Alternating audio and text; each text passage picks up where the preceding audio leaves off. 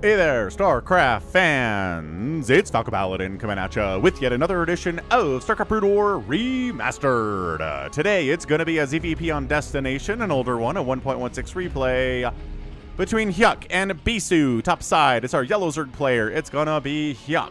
And in the bottom side, it is our guy Bisu. All right, so a ZVP here featuring Terry the Overlord. All right, Terry. If you can stay alive till the end of the replay, I'll be very impressed, because Bisu is the top Protoss player of all time. Not right now, I feel like, but for the extent that Brood War has been around, Bisu is the top. How about that? Yep, I know you agree with me, Bisu. Check out some merch featuring uh, Terry the Overlord here at FalconPaladin.store. We've got shirts with his face on it. We've got a mug with his face on it. We've got uh, hoodies and t-shirts and beanies with Falcon branded stuff. FalconPaladin.store. We ship anywhere. Anywhere on Earth except uh, North Korea? And maybe Mongolia? I don't know. I do not know. I don't know off the top of my head, but we ship to most countries, all right? And in the top right of FalconPaladin.store, there's a currency selector. It's defaulted to Australian dollars, so if you're not in Australia, go ahead and click up there, select your country from the drop down, and you're on your way. Hmm, overpool opening here from Hyuk. All right, just just playing it safe. Just playing it safe. Bisu here was going to go for a, uh, a Nexus first. But it's an overpool, so that is not safe. So we're going to do a gateway. oh, a forge. Uh, yeah, okay. A forge is about safer than a gateway against an overpool.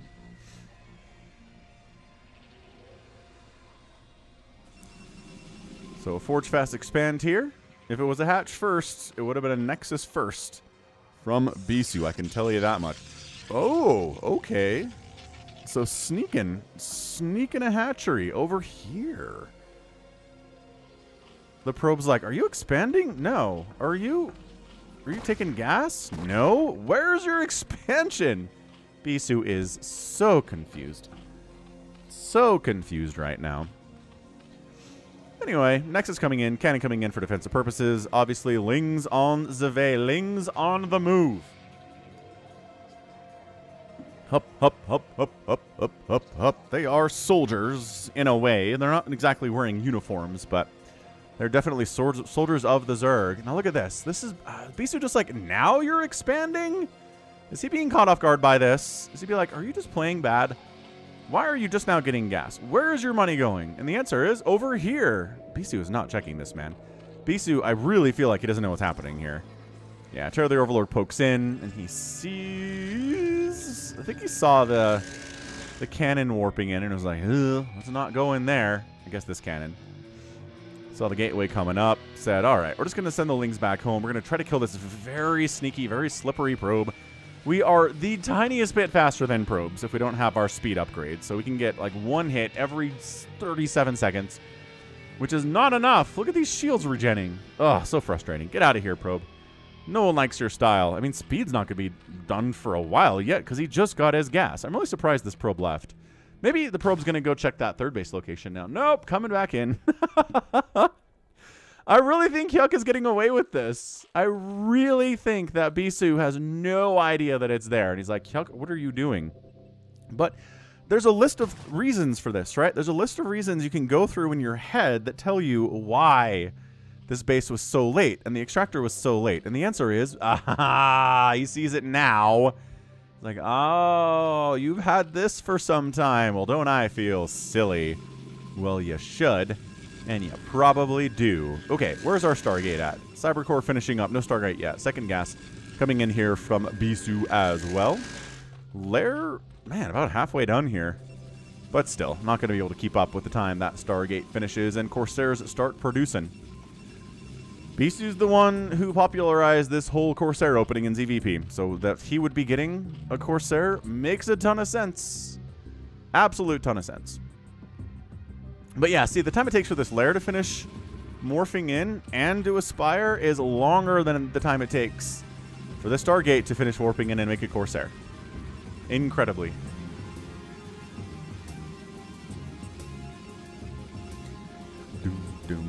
Citadel of Adun on the way. Nothing too surprising there. Speedlots and Corsairs, a match made in heaven in general, or maybe you're going for DTs and Corsairs, who knows? That's a possibility here as well. Spire coming in. Oh, Probe finally died. Here? About here. Dude, Hyuk's got a lot of lings. I don't... There's two cannons, and two zealots, and a dragoon. I don't know what you're trying to do here, Hyuk, but I don't like it.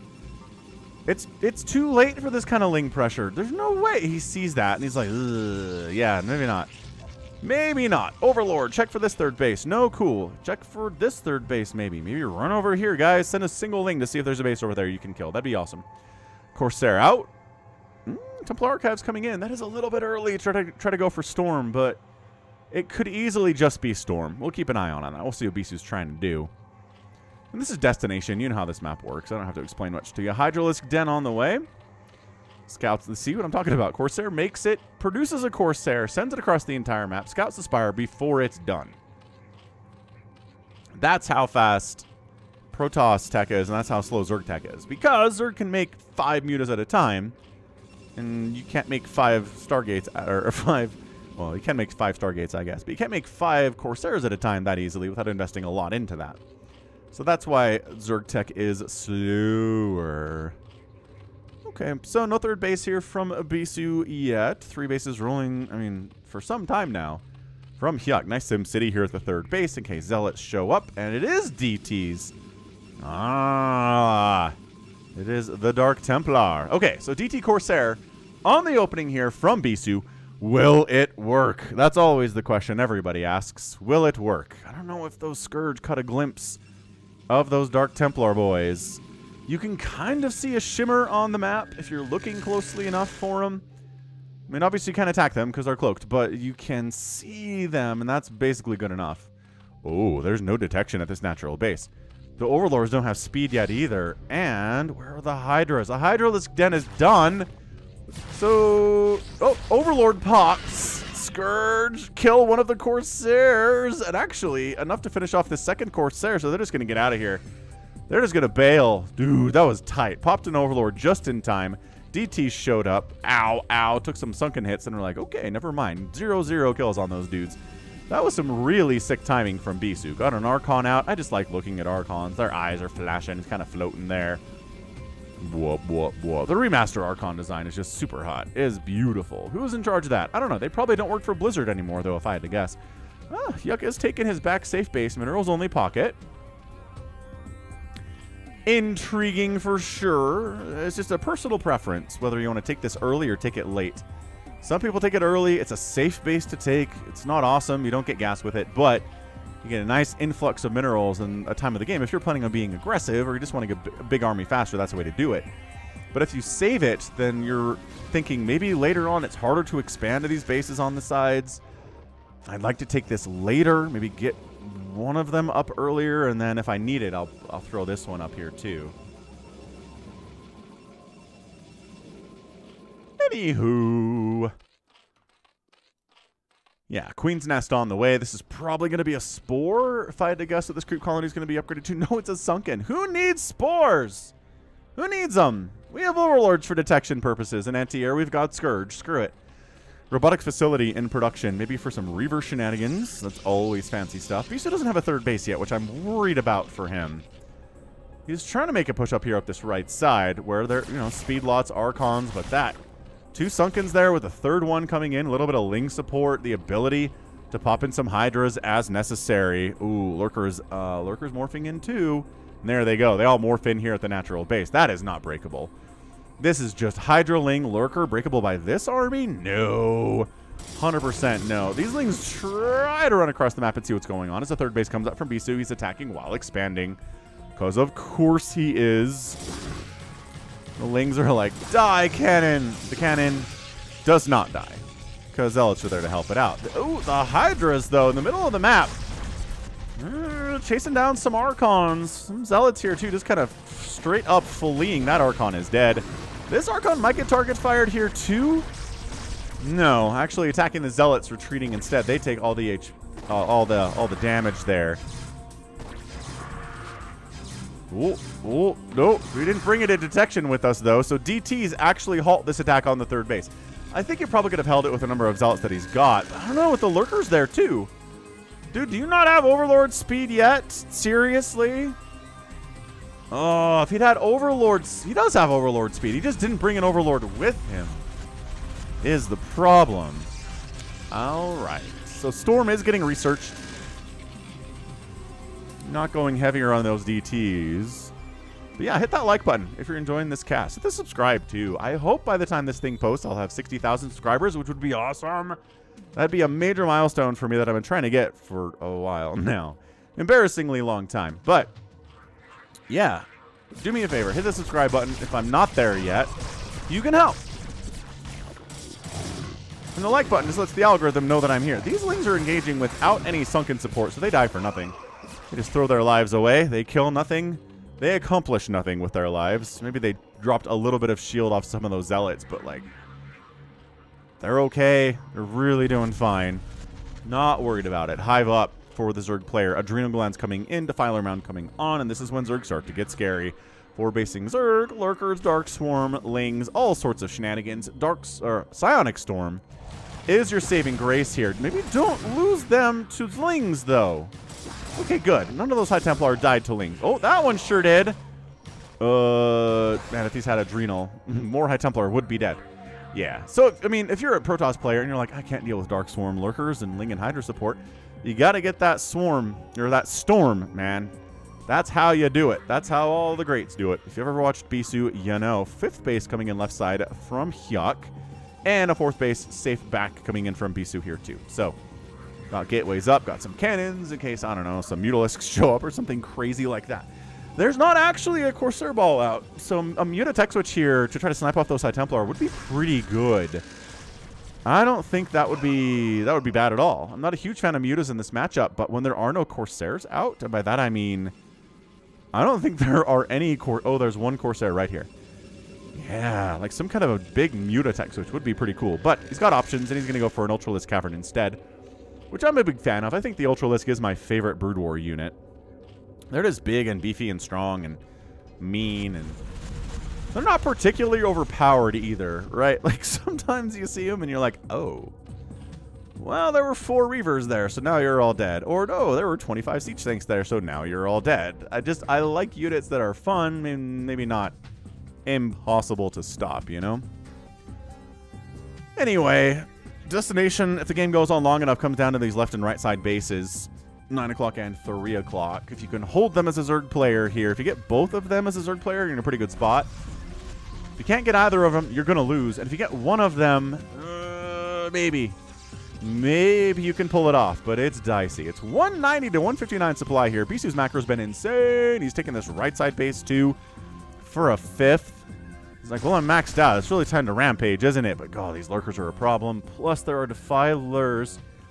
I'm saying that, but I don't see any right now, so that seems like a problem.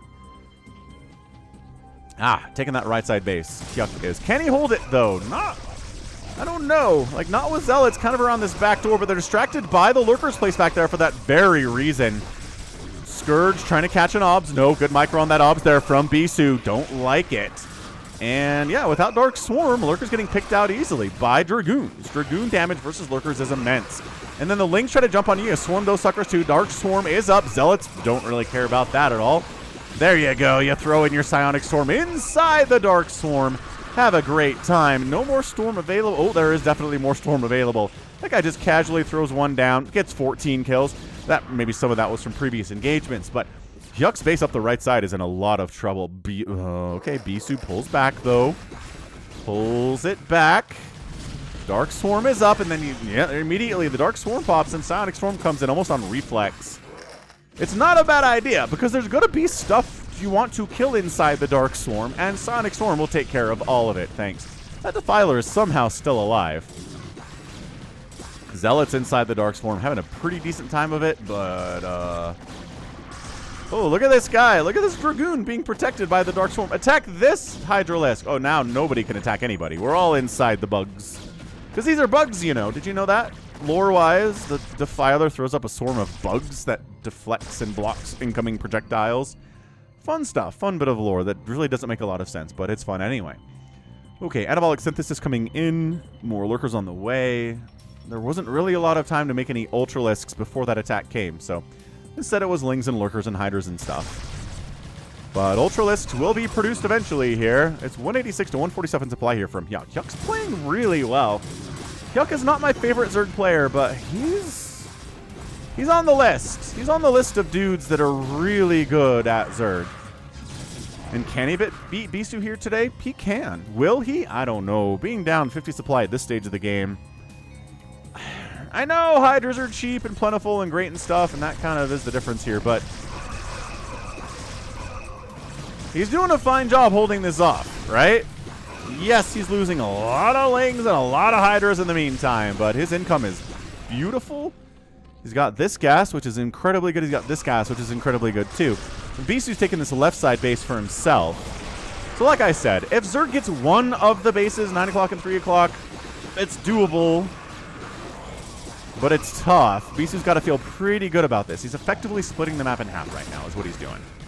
And against a Zerg player, you're okay with that. So one Ultralisk pops out, but he has absolutely no support from anything. He's got, oh, now he's got some friends. Uh-oh, this left side base of Hyuk's in a lot of trouble.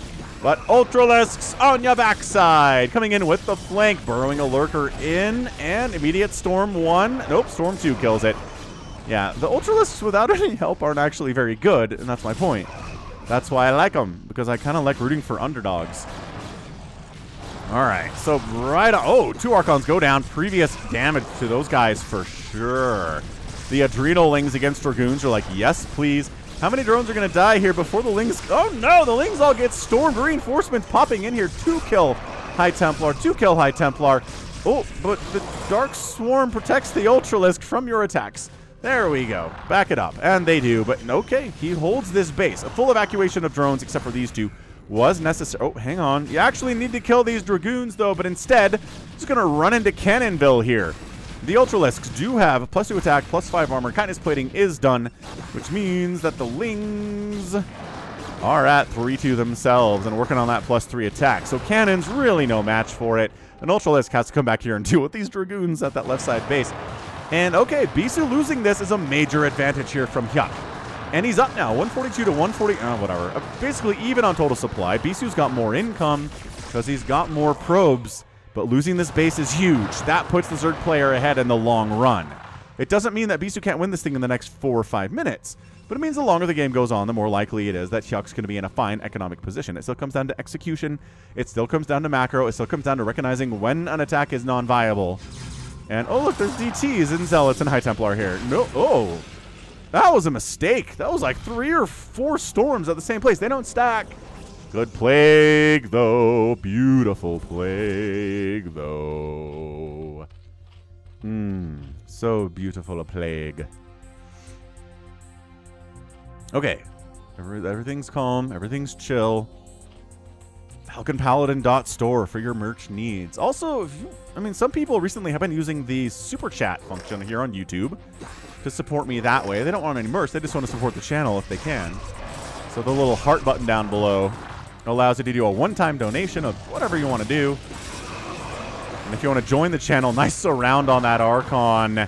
Ling's Ultra is chasing this away. Nice Plague. Doesn't catch any of his Ultras, which is hard to do. Because Ultras are up there face smashing, and it's likely for them to catch a Plague too if you're plaguing the army they're attacking. Yeah, more more scheduled support on a monthly basis. You can click the join button down below to become a channel member with access to extra emojis and a super cool green name with a super cool badge next to your name too when you leave comments. Awesome stuff available for you that way to join the channel. And there's always Patreon. Patreon.com slash FalconPaladin2 for as little as a buck a month. These DTs, more DTs than I thought made today. I guess if your enemy is making ultras, DTs are nice. Ooh, the Corsair group got big. Never mind. The Corsair group just knocked got down to two. Plague. See, that's what I'm talking about. Plague catching those ultras. That hurts too, man. Plagues take the or yeah, ultras take the full brunt of that plague, but shutting down this nine o'clock base again is massive. The Hydras against the oh my gosh, these Corsairs just need to get sneezed on and they're dead. Are there any Hydras at all? Oh, there was one Hydra. One Hydra just got two Corsair kills with two shots. That never happens. That's a rarity for sure. 195 to 160 total supply here. Hyuk is looking good. Like I said, taking the 3 o'clock and destroying the 9 o'clock is a big deal. Zealots, Dark Swarm. Storm is up here too. Coming out of the Dark Swarm to fight. Zealots trying to hold their own right now. Is there enough Zerg to just push on through and kill this left side third base? I don't think. Maybe. Oh, the Dark Swarm here against these cannons is beautiful. Another Archon. Is he gonna... No, he does survive. He gets six kills, and one of them's an Ultra. Oh, these Ultras were... Some of them were previously plagued. I bet is why they died so easily. But look at this flood of Zerg coming in. Look at it. Look at it. Hyuk is really, really pushing hard into this base. If he can take it down, it's almost a guaranteed win for him. To not lose any of his own bases and kill two of Bisu's bases on this map, where bases are rare, well, this seems to be held pretty well by Bisu. This attack didn't do a whole lot. It was kind of scattered, kind of all over the place. Not one mass swarm. Yeah, like these lings coming down. What are you trying to do? Yeah, go back home not going to accomplish anything by yourselves out there. We are Zerg. We are Legion. Okay, Ultras, Lings. There it is. This is working together for the good of all Zerg kind. The Storms are on point because this is Bisu we're talking about, but... Is it enough to hold this attack? The DTs, man! Yeah, DT Zealot against Ultras. Ultras don't like fighting there. They really don't. For obvious reasons, man. Woof. Shuttle coming in, more DTs. Ooh, maybe some Reaver shenanigans. Are there any Reavers out now? I don't... Mm, yes, there's one in production. So going for it. Oh, boy. Yeah, this is a problem. This is a problem for Bisu. This 9 o'clock base getting taken by the Zerg. It gives him one extra base up on the Protoss. And he's just been making some good trades so far. For Bisu to win this game requires him to either kill that base and take it, or make some incredible trades today. Like, more than he usually does as Protoss, and as one of the best Protosses of all time, and maybe the best Protoss of all time.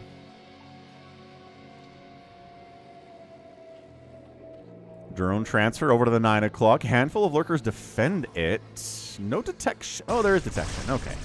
So DT dies immediately. This DT is like, oh, that's not a good place for me. Send the Zealots up? I don't know. Oh, Lings and Lurkers working together. Good combo. Yeah, Bisu's in trouble.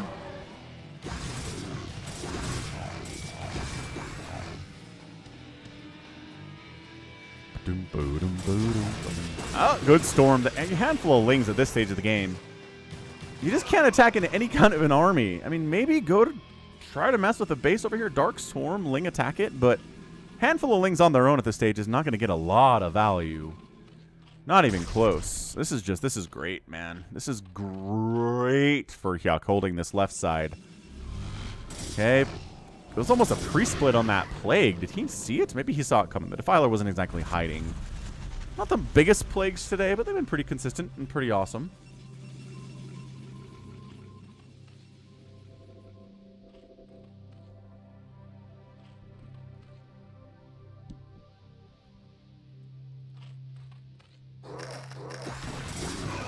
Ling Ultra. Hydra. Coming in here. Storm 2. I don't know, man. This is a lot. Nice play. This is a lot of Protoss. Reavers in the mix now. This is where the tide could turn for Hyuk. He is someone who is very good, but sometimes certain battles can go poorly for him and really be the difference. But good flank coming in this left side. It's forcing the Reavers to retreat from the position. Good hits, though. These Reavers are taking, I was just going to say, they're taking no damage. But they certainly are taking some damage, as evidenced by that Reaver being on red health. Bisu trying to push up this middle. Did it work for him? I don't know that it did. Man, Hyuk. I think it's just he hasn't lost any bases. And if you don't kill any bases,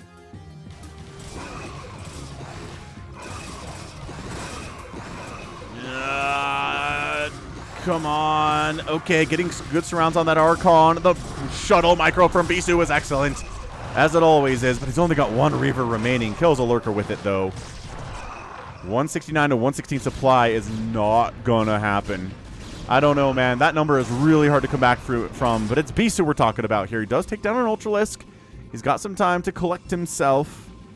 But, dude, look at this. 68 to 64 workers. Bisu's got idle probes and oversaturated bases all over the place at this point. He needs another base. And he, okay, he's getting some shots off down. Oh. Okay. So Reaver, 21 kills, 23 kills on the Reaver. And he kills another drone as he dies. Boss, boss man. I don't know why we're sacrificing probes at this stage of the game. Why? You're not maxed out. You're not really freeing up supply by doing this, but okay. Maybe just checking mineral count over there. I don't know, but 162 to 140 total supply in favor. Oh, Scourge dying. Just trying to bring observers home, I guess. Like, he's got one Obs here, but he'd like more big-time attack on this third base, which is effectively mined out, but it still represents a lot of Bisu's income right now. Maybe not a lot. Yeah, good Plague on the responding Zealots. Good Storm from the responding High Templar. Dude, dude. The Storms are good.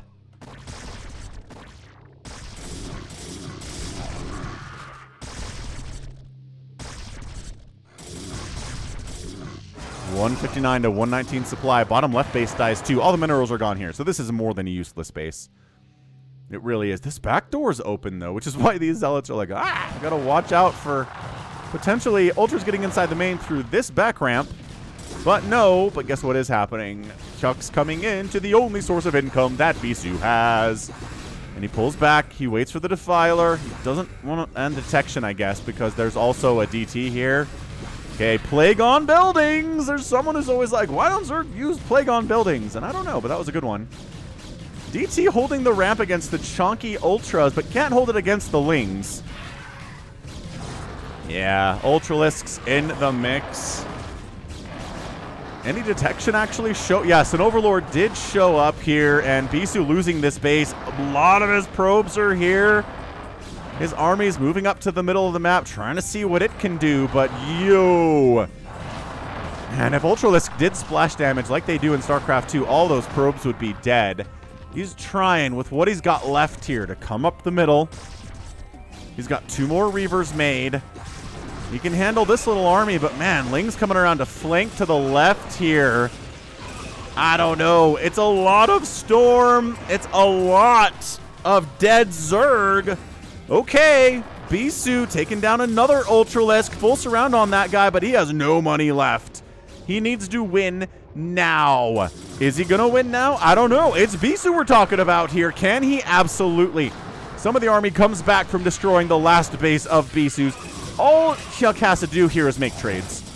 He doesn't have to kill this army. He just has to kill some of it, which he's not doing a great job of, honestly. Like, 10 Ultras have died in the last couple of minutes, it feels like, and not really gotten a lot done. Oh, and the GG! Bisu taps out anyway. Ah, and GG Hyuk is your winner in 28 minutes of some really good ZVP stuff. I don't know. Was he just saying, sure, I could probably kill this base, but there's still income for the Zerg over here. He's producing stuff, and I'm not. Lurkers, Ultras, Lings, uh-uh. Even breaking these five Sunkens is going to be hard for this army because a lot of these Zealots have been plagued Archons aren't particularly good in the situation either. And yeah, he, again, he could probably kill this base, but he's probably not going to be able to kill this one based on what's in that production tab from Hyuk. And he doesn't have enough money to rebuild his base. Long distance mining maybe could work, but it's really solid long distance mining here. Anyway, fantastic. Again, it just it comes down to Hyuk not losing a base today. Right? He's just not didn't lose a base. Never really had a big, strong attack on one either.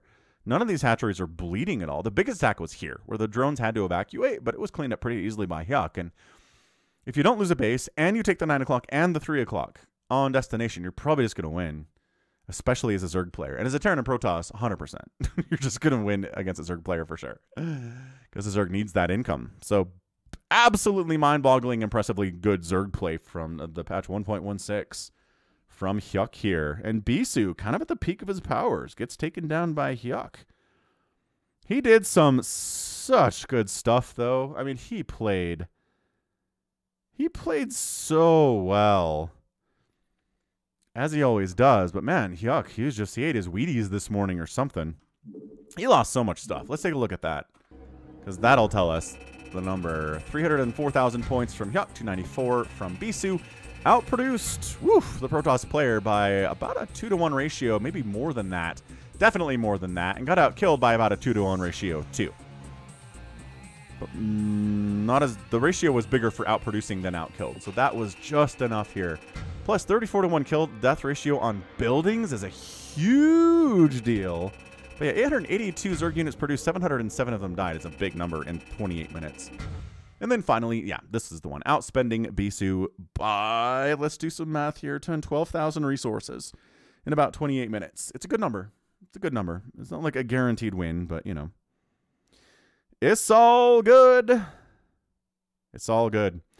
Fantastic. Just a truly, truly fantastic display of ZB, ZVP there from Hyuk.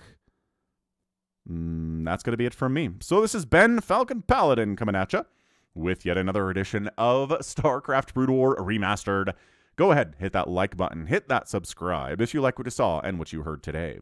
You can also catch me on Twitter, Facebook, Patreon, and Twitch, all at slash Falcon Paladin. And until next time, as always, thank you so much for watching, and you take care of yourself.